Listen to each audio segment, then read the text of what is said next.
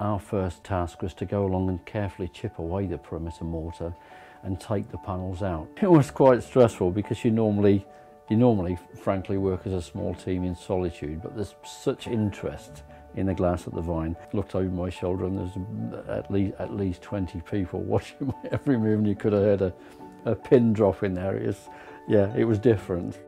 At the same time as we took the glass out, we put in an, uh, an external glazing screen to protect it which is leaded to the primary lead lines of the original glass. And then we make bronze frames for the perimeters of the ancient glass and it sits slightly in front of the original position.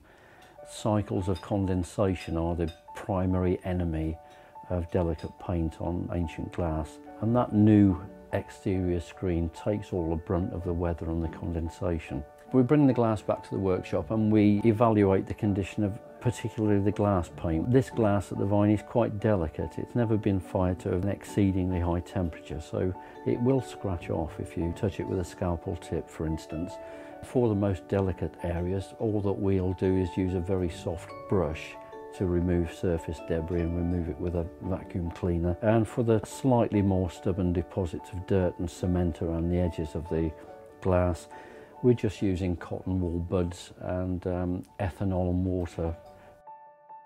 When you've got such an important uh, late medieval artefact, you need to take steps to protect it for future generations because you run the real risk that you'll turn a corner and, and there will be irreversible damage done. And we've got a whole range of people on the team here from younger people to older people and uh, it's quite interesting you know that right across the generations people feel this great need and responsibility to prolong things for the future.